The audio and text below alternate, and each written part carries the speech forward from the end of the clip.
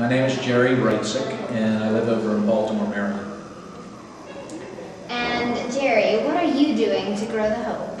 To grow the hope, I'm keeping uh, my spirit alive, and all of us in Baltimore are organizing for a big community celebration. It'll be on April the 18th, and we're going to bring together all different groups in Baltimore City, um, all the way from the spiritual and faith-based groups to the arts, people who are actors and all different kinds of uh, different uh, uh, practices. Uh, and we're bringing people from the, the human rights groups and people who are community organizers, people from the high schools and a beautiful group that we have in Baltimore called Peer to Peer, which is an amazing group. It's 20 different groups of young people in Baltimore City, all high school, uh, involved in all different kinds of things. The Algebra Project, Hip Hop Congress, uh, Kids on the Hill, uh, all different. There's 20 different groups. These are all peer-to-peer, -peer, which means that they run the show. What they learn and, the skills that they gather, they're, they're obligated to pass it on to other peers, people their age. And that how, that's how they build in this great organization. It's very exciting in Baltimore right now. There's a lot of good energy. There's a lot of new energy, a lot of youth energy. And, uh, and for me, it's very, very exciting.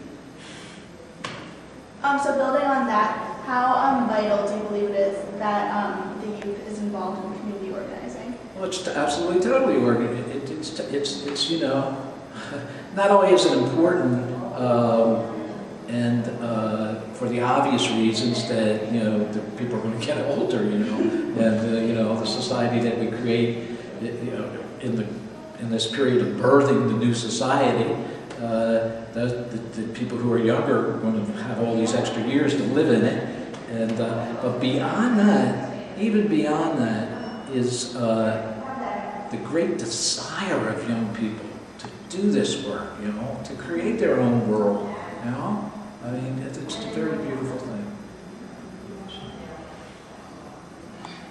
Do you think that this new sense of energy is due partially to the election, or did you see that this was happening before Obama was a big thing at all?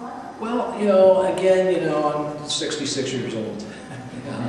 and so, uh, in a certain way, I'm very far away from the youth. But in another way, I'm so turned on by them, you know, by their energy. And uh, so I act as an advisor to a number of different groups, this peer-to-peer -peer group that I was just talking about.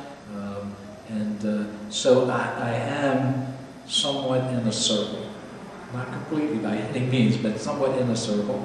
And uh, I think that this energy was there before Obama even announced that he was going to even run for the presidency.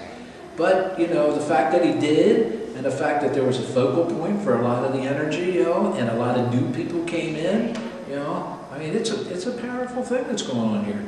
And being here in D.C. today, the day before the inauguration, is amazing. Truly amazing.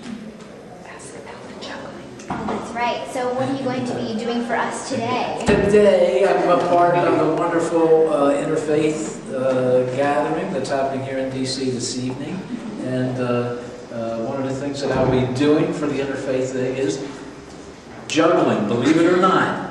This is a spiritual practice called juggling, and uh, what it is is really is a way to welcome people. So as people come in, it's very important for us to welcome them in. You know, come on, you know, and so this is my way of welcoming people. That's it.